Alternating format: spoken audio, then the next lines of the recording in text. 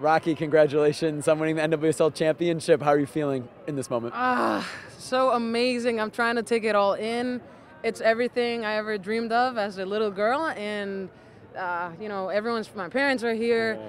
We won it all. A couple birthdays this weekend, so it, it couldn't have been better. I, I was going to ask you, your parents being here, what did that mean?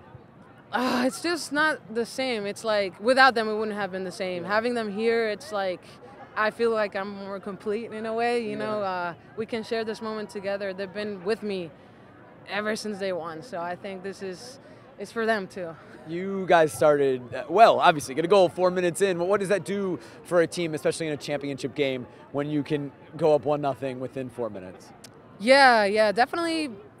Honestly, when it's a, a championship game, a semifinal game, when you have to win that game, obviously having the, the lead and the score, it's, it helps, but you still haven't, you can't just relax. And that's, you know, we saw it in the last semifinal, and you see it every time in soccer every day. So it, it's a good, it was a good start, but uh, we kept going. I think we kept playing without hesitation. Yeah. Yeah. What, what, what, is, is that what it was? I mean, what was the key for you guys tonight? Yeah, I think we we knew that we had to just play and be fearless. I think that was the key.